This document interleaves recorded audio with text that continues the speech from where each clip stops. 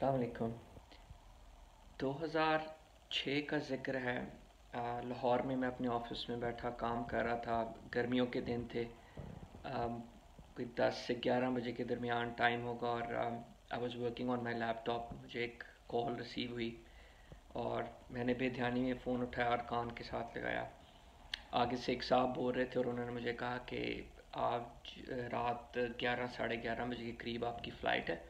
اور آپ تیاری کریں اور اپنا پاسپورٹ کلیکٹ کر لیں۔ تو میں کام میں بزی تھا، دھیان بھی میرا وہاں تھا اور ایک دم اس طرح کال سے آ کے آپ کے، آپ کو کوئی کہے کہ جی آپ کی فلائٹ ہے شام کی، تو تھوڑا سا ایک شوق لگا مجھے اور میں نے ان سے پوچھا جی آپ کون سا بول رہے ہیں اور کہاں کی میری فلائٹ ہے اور آپ کیا بات کر رہے ہیں؟ ذرا مجھے بتائیے۔ انہوں نے کہا جی میں آپ کا ٹریول ایجنٹ بول رہا ہوں، آپ نے دو ہفتے پہلے ہمیں اپنا پاسپورٹ دیا تھا عمرے پہ جانے کے لیے۔ تو آج آپ کی رات رات کی فلائٹ ہے اور آپ نے جانا ہے، تو میں آپ کا ٹریول ایجنٹ بات کر رہا ہوں۔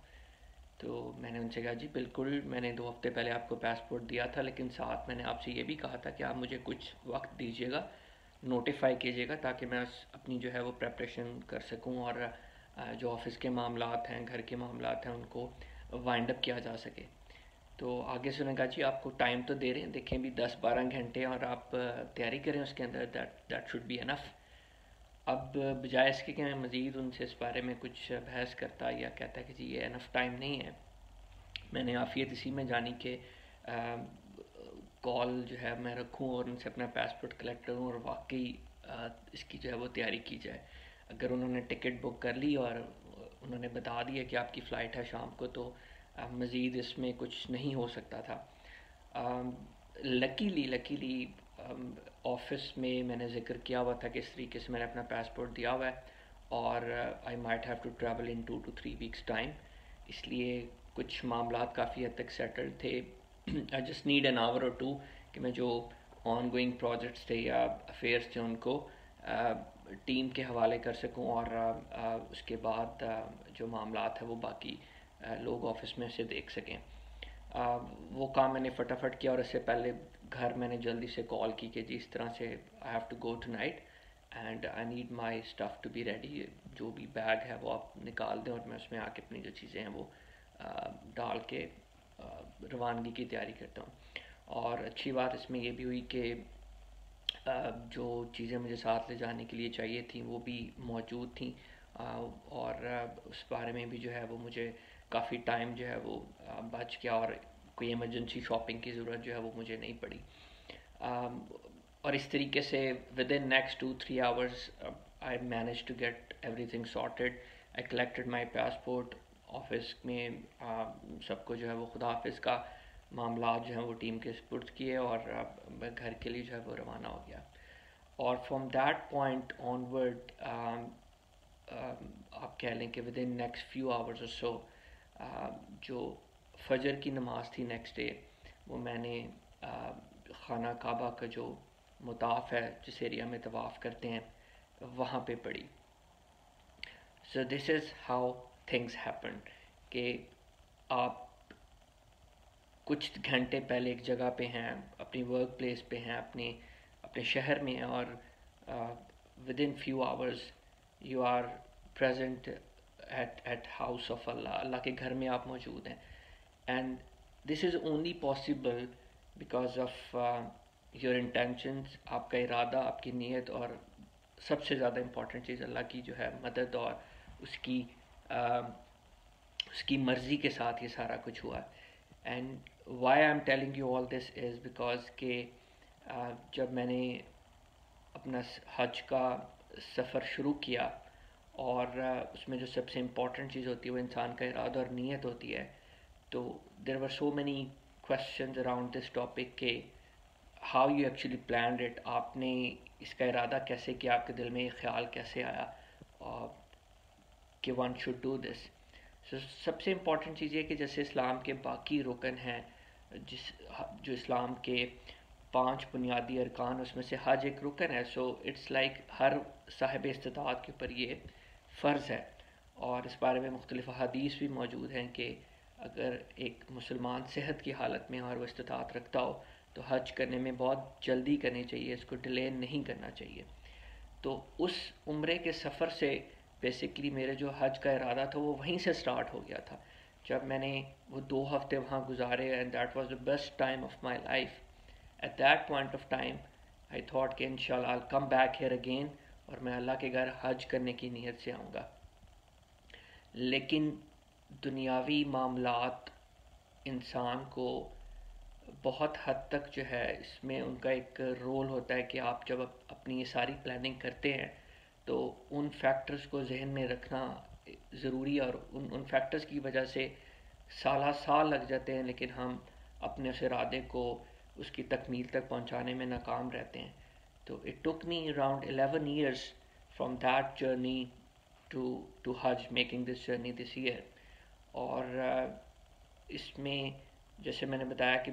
دنیاوی معاملات اور فیکٹر بہت زیادہ انوالو ہوتے ہیں۔ لیکن میرا اس میں جو جو لیسن لرن ہے، جو میں نے اس سے چیز سیکھی ہے اور بہت سارے آپ کے کوشچن اس بارے میں تھے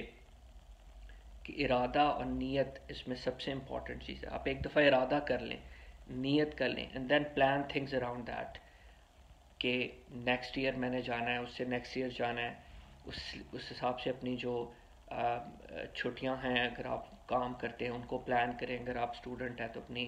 یونیورسٹی کے اور کالج کے معاملات اس حوالے سے مینیج کریں اگر آپ if you are if you stay at home then again plan things around that کہ آپ کس طریقے سے اس ارادے یا نیت کو پایا تکمیل تک پہنچا سکتے ہیں۔ اور سب سے امپورٹنٹ چیز جو میرا پرسنل ایکسپیرینس ہے میک دعا فار اٹ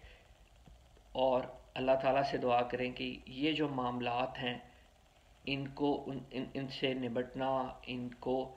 اس سفر کی راہ سے ہٹانا اور اس طریقے سے حالات کو مولڈ کرنا کہ یہ جرنی پاسبل ہو سکے، یہ انسان کے اختیار میں نہیں ہے۔ اسے آسان بنانا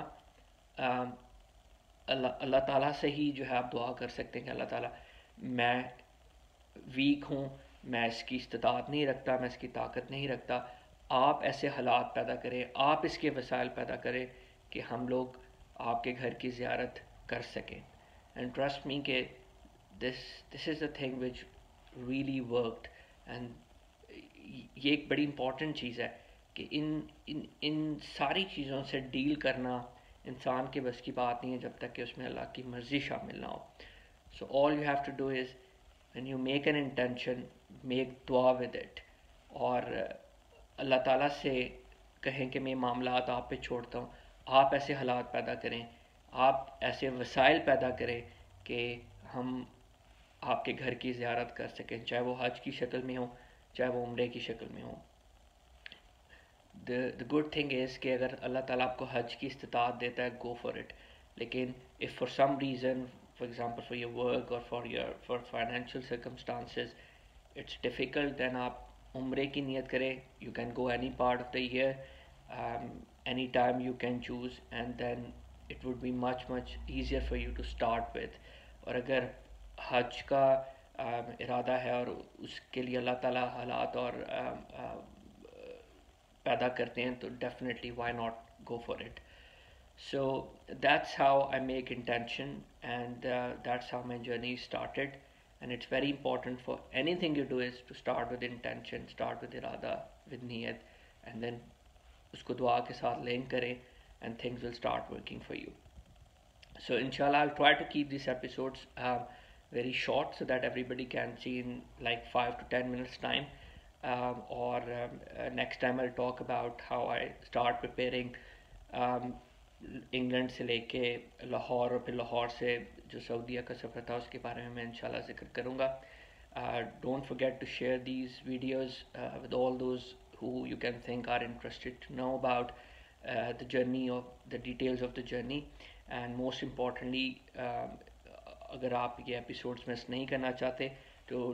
do subscribe to the YouTube channel and inshallah I'll talk to you very very soon with uh, the next part of this journey. Assalamu alaikum.